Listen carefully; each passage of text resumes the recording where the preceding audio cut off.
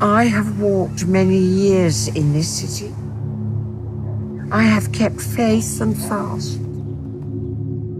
Until two years ago, I was able to care for myself and home. I now need help in getting out of bed and find it hard to get up from a chair.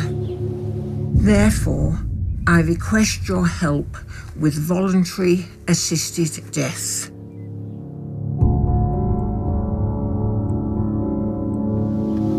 72 year old lady suffering from inherited limb girdle muscular dystrophy, for which there is no cure or treatment.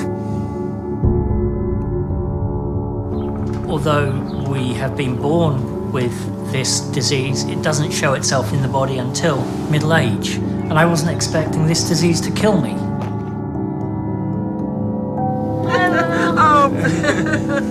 I'm not brave enough to carry on living. I want to say, stay. I can help you. Carry you. I can help you. Stay. You can't leave this place.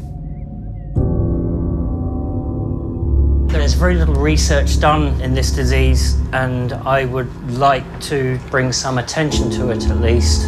I think I should do something. I must do something. Otherwise, I'll just be sitting in a wheelchair doing nothing.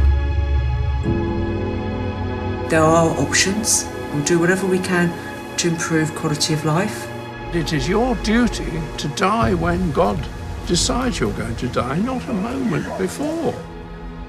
How do you cope with the sin that you're killing yourself?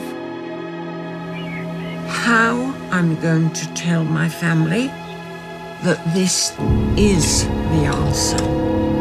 If I press that button, is that the absolute total end of me?